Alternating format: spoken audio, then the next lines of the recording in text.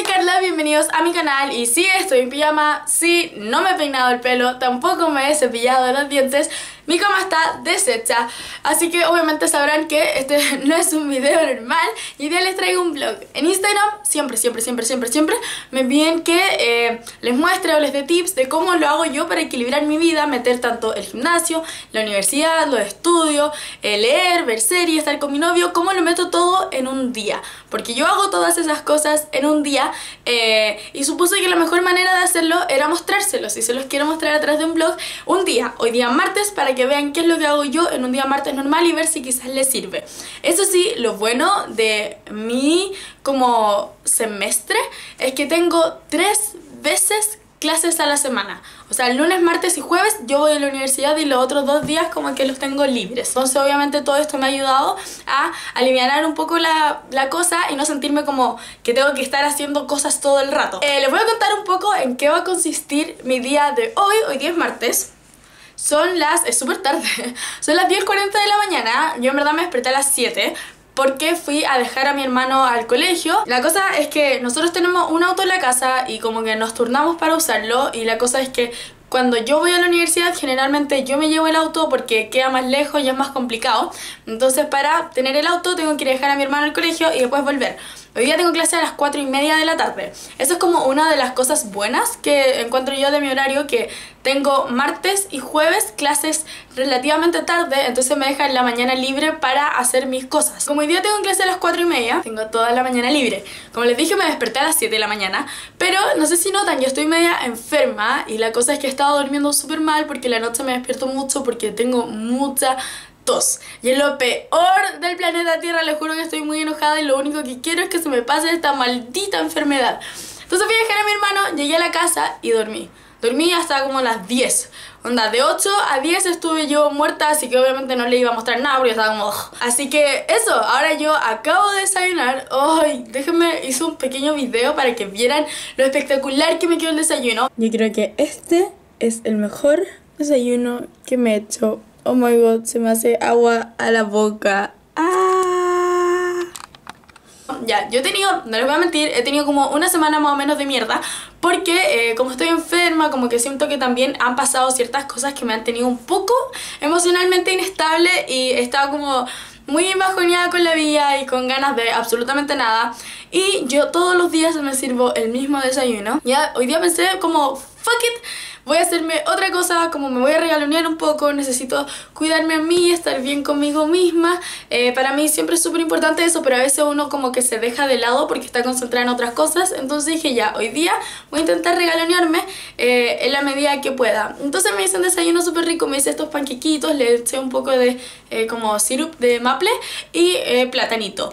Entonces eso desayuné y ahora acabo de terminar y en verdad quedé demasiado llena. Y bueno, mi plan era salir a las 11 de la mañana al gimnasio, pero dormí más de lo que tenía esperado. Que esas son cosas que pasan. Onda, yo generalmente tengo como un punteo más o menos de todas las cosas que me gustaría hacer en el día, pero eh, obviamente no siempre todo sale como uno quiere. Entonces estoy pensando quizás ir a las once y media al gimnasio porque eh, no me gusta trabajar con eh, la guata tan pesada como que siento que lo voy a vomitar todo. Esto también me lo consulta mucho, así como cómo te metiste en el tema del gimnasio, cómo lo hiciste para ser tan consistente y no sé qué. Al principio me costaba mucho. Ya, la verdad es que yo he intentado ir al gym como desde hace cuatro años al principio lo único que hacía era cardio porque yo quería bajar de peso.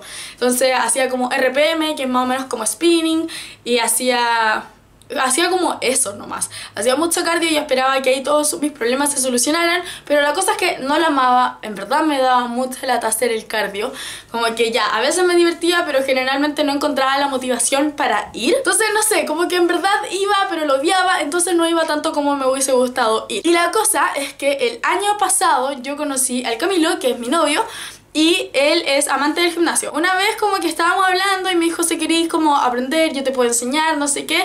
Y dije como ya te voy a acompañar y ver qué pasa. Y yo creo que me enamoré. Yo tuve mucho, mucha, mucha suerte en verdad porque el Camilo fue el que me guió, me enseñó, me dijo ya mira, este ejercicio sirve para esto, esto es para esto, esto es para esto, así se hace, no, la espalda más recta, no sé qué. Ya, pero al principio igual me costó mucho porque obviamente es un nuevo hábito. A lo que voy con toda esta conversación es que si ustedes quieren empezar a ir al gimnasio, como bajar de peso, lo que sea, intenten hacer pesas intenten levantar pesas, no se queden solo con el cardio. Sé que las pesas pesas son intimidantes, pero onda, yo sigo mucha, mucha gente en Instagram que sube como rutinas de todos los días, de como distintos, focalizados en distintos grupos eh, musculares, entonces igual si es que necesitan como algún consejo o alguna persona a quien seguir, pregúntenme, en verdad yo me enamoré de esta cuestión. Y estoy segura que hay mucha gente allá afuera que no lo conoce, pero una vez que lo conozca también se va a enamorar porque yo nunca me había sentido tan empoderada, yo nunca me había sentido tan bien conmigo misma como cuando estoy en el gimnasio. Y en verdad es una cuestión cuática. A mí como que en verdad nunca pensé que iba a amar tanto algo como hacer deporte. Para mí no hay nada más bacán que mejorarte a ti misma. Onda, obviamente todos tienen sus maneras de hacer sus cosas y no crees que eso es para ti, no lo hagáis, pero yo creo que es bueno darle una oportunidad. Y esto, esa es mi TED Talk de mi charla TED de acerca del gimnasio, porque en verdad es algo que, de lo que yo me he enamorado y me encantaría que todo el mundo se enamorara porque yo nunca me había sentido tan empoderada como eh, cuando estoy levantando pesas. Y eso, les voy a contar un poco el plan que tengo yo para hoy. Eh, ya, como les dije a las 11 y media yo creo que voy a terminar yendo al gimnasio para poder eh, bajar un poquito la comida. Eh, mientras tanto, yo cacho que voy a ordenar un poco la pieza porque igual, ya, yo me gusta pensar que soy relativamente ordenada, pero soy relativamente ordenada. Onda, ahora tengo la escoba en la pieza. Después voy al gimnasio, entonces ya voy a como almorzar, después voy a pasear a la flora eh, y después voy a hacer las cosas de la U que tengo que hacer, ahí les voy mostrando cómo lo hago. Después voy a ir a la U, tengo clases como por dos horas, generalmente me quedo como una hora y media. Y, y, después me vengo a la casa, ahí tengo tiempo como para hacer mis cosas, como para leer, eh, ver series y en la tarde me junto con el Camilo, tipo 8 y media, 9 en verdad de la noche, es como bien tarde porque él sale de la pega y después la pega al gimnasio porque le dije vamos al gimnasio y termina el gimnasio como a las 9. Entonces ahí nos juntamos y hoy día vamos a ir a su casa y lo más probable es que me vaya a quedar a dormir. Generalmente los martes me voy a dormir para allá, igual depende cómo esté con el resfrío porque no quiero como enfermarlo a él ni nada por el estilo. Así que ese es como el plan eh, a grandes rasgos, ahí vamos a ir viendo como en el camino qué es lo que va pasando y eso. Espero que me acompañen y ojalá disfruten este video. ahora sí que estoy lista, estoy relativamente bien con los horarios. Acá tengo, eso sí, a una impaciente Flora que quiere salir a pasear. ¿O no, mi gordo? Mira, si es más linda, mi preciosa. A la vuelta vamos a salir a pasear, ¿ya? Miren cómo se le mueve esa colita, mi pequeña. Y al tiro, más necesita, más necesita, mi bonita pechacha. Ya, yo voy saliendo, gorda. Pórtate bien, ¿ya? Nos vemos en un rato, mi bailarina. K1 was amazing. I finally gotten together with Robin. But while I've been off having one of the best nights of my life, your Uncle Marshall has been having one of the worst nights of his. Ya fue al gimnasio, ya almorcé. Y ahora estoy acostada porque no tengo ganas de nada. Son las 2.40. Tengo que salir de la casa como a las 3.54. Así que todavía hay tiempo. Me siento muy cansada. Onda, los últimos tres días he dormido como 8 horas. Onda, los tres días en total. Porque como estoy con todos, estoy tosiendo mucho en la noche y no puedo dormir bien. Así que he estado como cada segundo libre eh, tomando siestas como durante el día. Porque en la noche no puedo dormir, entonces voy a tener que dormir en el día. Y eso. Em, igual lo bueno es que hoy día como que en la tarde para la clase no tengo nada. Onda, no tengo que llevar nada, leer nada ni nada por el estilo porque estamos haciendo presentaciones. Así que yo ya hice mi presentación. Así que en ese sentido igual estoy como relajada, como que no hay nada como pendiente que tenga que hacer ahora. Y eso, yo creo que a las 3 voy a salir a pasear a la, a la gorda, a mi florita, y después eh, salir. Pero en verdad yo creo que voy a estar disfrutando la cama acá hasta la hasta las 3 no me pienso mover. Pero eso. ya, ahora vamos saliendo con la gorda. ¿Cómo está mi preciosa? Vamos a dar una vueltecita para que la madre pueda ir tranquila al la. Ya, yo tengo listo para salir de la casa. Estoy onda ya con la mochila lista, todo ok para ir a mi clase. Tengo ahora una clase de psicología porque yo estudio ingeniería comercial, pero nosotros podemos seleccionar en tercer año, yo estoy terminando cuarto, pero en tercer año nosotros seleccionamos como una especialidad que nos gustaría tener y yo elegí psicología porque me encanta todo lo que es el comportamiento humano. Y ahora tengo una clase de psicología. Lamentablemente esta clase no es tan entretenida como suena, eh, que se trata acerca de test, así como que nos enseñan cómo realizar test para que sean eh, confiables, que tengan validez, etc. Y no es tan entretenido. Pero hoy día lo que pasa en la clase es que hay presentaciones. Onda, tres grupos presentan, yo presenté la semana pasada. Así que no hay nada que yo tenga que hacer, tenga que ir, tengo que ir, dar presencia, obviamente escuchar las presentaciones como por respeto, pero yo creo que igual voy a llevar el computador como para simultáneamente hacer cosas con relación a los libros, porque por ejemplo, yo ayer terminé de leer Red, White and Royal Blue, que es un libro precioso, muy muy tierno, que trata acerca de el, el hijo del presidente, de la presidenta de Estados Unidos y el príncipe de Inglaterra que se enamoran.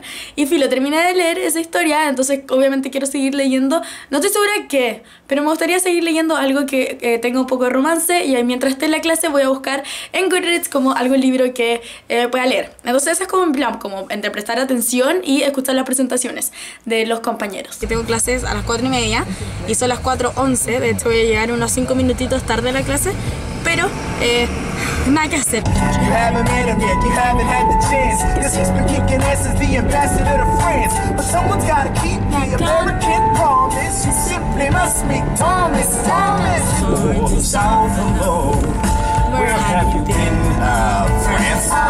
Ya. Estoy onda a nada de la universidad.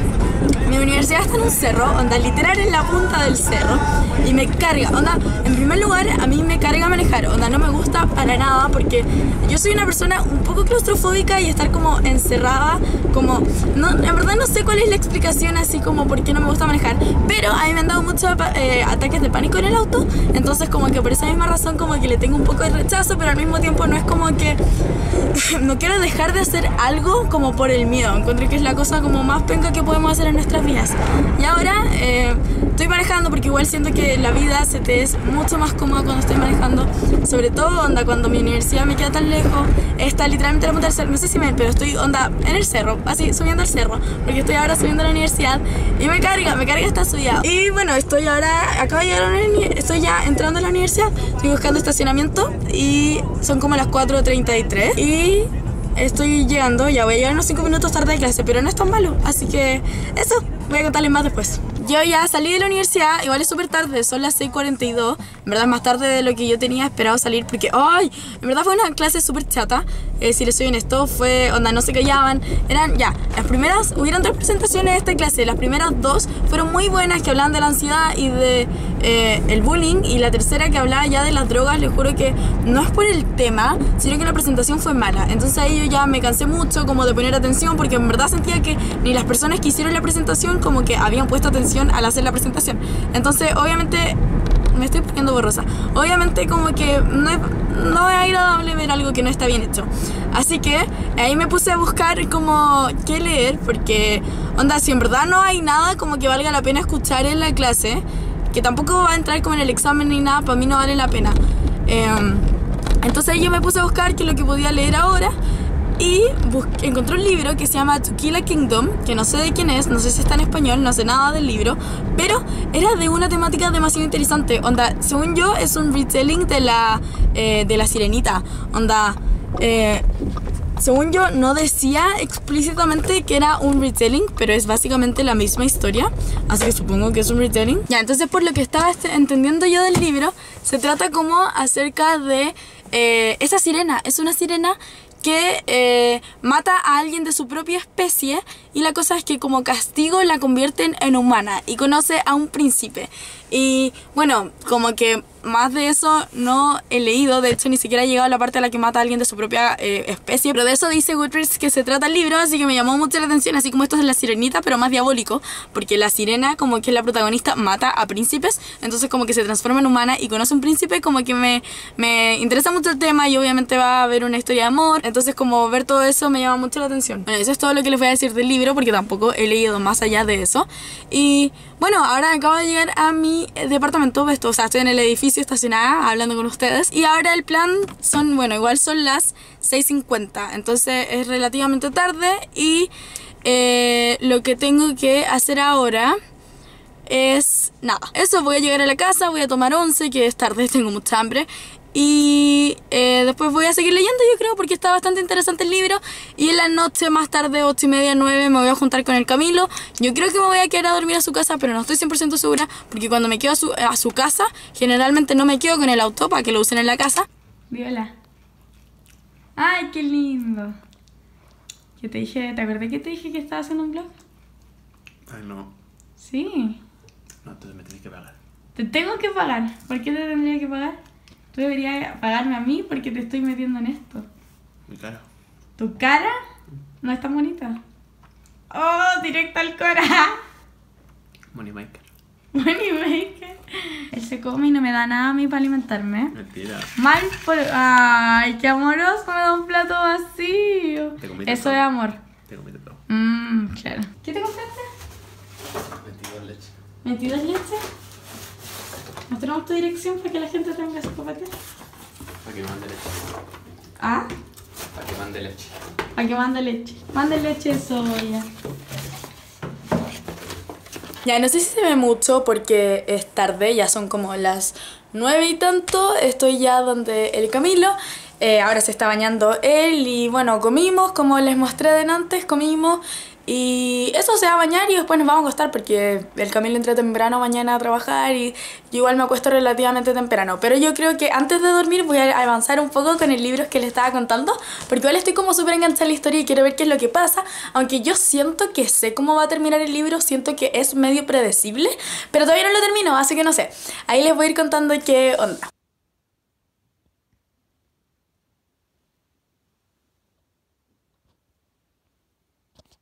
Bueno, al final ayer sí me quedé donde el Camilo, eh, hoy día ya es miércoles, llegué ya a mi casa, después de estar en su casa, estuve como en la mañana, desayuné allá y todo, pero eh, eso, como que en eso consistió mi... En verdad siento que mi día de martes no fue... Como que siento que no les puedo mostrar tantas cosas, porque no pasaron tantas cosas. En verdad yo pensaba que el blog iba a tener como un poco más de acción, porque ya si bien fui al gym, vi series, vi How I Met Your Mother, leí, eh, fui a clases, como que siento que no hubo como mucha presión, por lo menos como generalmente lo que quieren ver es como cuando tengo mucha carga académica aún así puedo hacer las otras cosas. Y obviamente no vieron mucha carga académica porque no tuve mucha carga académica y es porque este semestre no tengo mucha carga académica porque como les digo, tengo tres veces a la semana clases. Entonces es como muy difícil meter muchas cosas en esos tres días. Eh, así que en ese sentido, por eso mismo siento que no les puedo mostrar tanto, pero mis tips para leer mucho vendrían siendo, yo creo que el tip más importante es lleven un libro, un Kindle, un teléfono, donde sea que tengan un libro, llévenlo siempre a todas partes, porque no saben en qué momento van a tener un, algún momento en el que no, ten- no tengan nada que hacer, onda, un tiempo muerto. Entonces ahí lo único que eh, yo les recomiendo es sacar el libro y ponerse a leer. Onda, yo llevo el Kindle ahora a todas partes, porque lo que me gusta del Kindle es como tan cómodo, tan transportable. Entonces literal lo llevo a todas partes y así... eh, al segundo en el que no estoy haciendo nada, me pongo a leer. Onda, entre clases, en la micro, en el metro, caminando, en todas partes. Como el, segundo que tenga libre lo uso para leer. Eh, entonces, esa es como la razón por la cual yo creo que he leído tanto. Así que ese es como el tip más grande que le podría dar. Quizás pueda haber hecho un video solamente diciendo eso. Pero supongo que igual como que la gente quería ver un blog y espero que le haya gustado mucho.